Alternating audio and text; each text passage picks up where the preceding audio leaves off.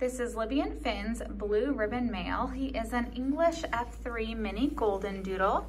He is a red um, doodle with a white spot on his chest. He actually will look just like Finn. Um, I expect full grown. He might have a little straighter of a coat, more of a loose wave coat than Finn, but you never know.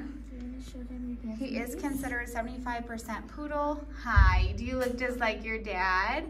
Dad is a toy size and mom is a mini size, so they're expected to be between a toy and a mini. So maybe about 20, 25 pounds.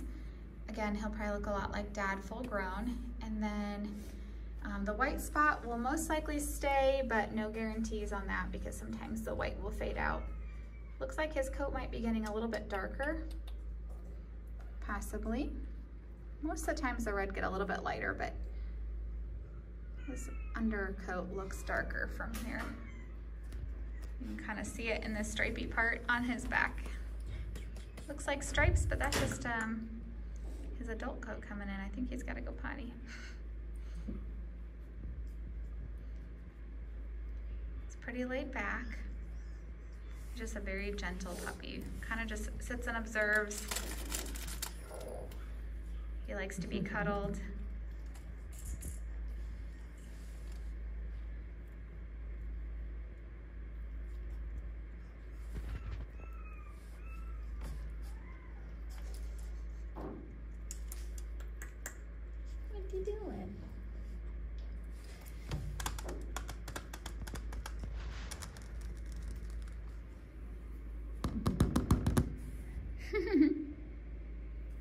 Checking everything out.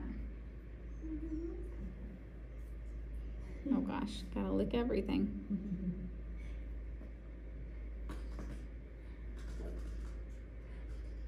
Oh, I think we're gonna go potty. Hi, bud. Hi.